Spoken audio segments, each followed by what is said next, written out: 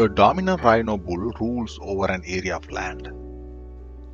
The dominant rhino will allow some subdominate males to live on his territory. When the mating season comes around, rhino bulls get more aggressive than usual and often fight to test their strength and affirm dominance.